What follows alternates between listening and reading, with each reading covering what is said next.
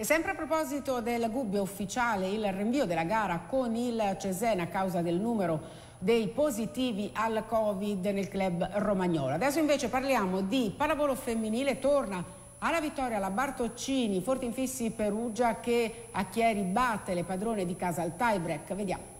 La Bartoccini Forte Infissi Perugia comincia la prima delle tre trasferte aggiungendo alla propria classifica due punti dopo aver vinto al tiebreak contro la Reale Mutua Fenerachieri nel recupero della prima giornata del girone di ritorno. Nel primo set le padrone di casa si portano avanti di sei lunghezze sulle avversarie. La svolta per Perugia arriva con il turno al servizio della Velcova che mette grande pressione alle avversarie.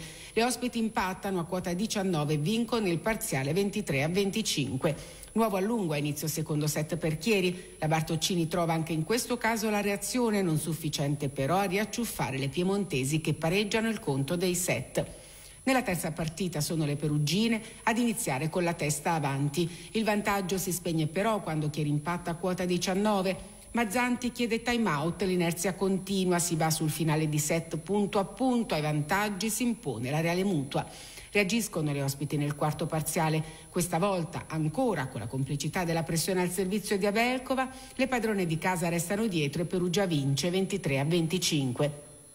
Nel set decisivo, dall'1 a 3 per la Bartoccini al 5 a 4 per Chieri, si passa al nuovo vantaggio della squadra di Mazzanti, che dall'8 a 11 controlla fino alla fine, vincendo il tiebreak e mettendo in graduatoria due punti importanti.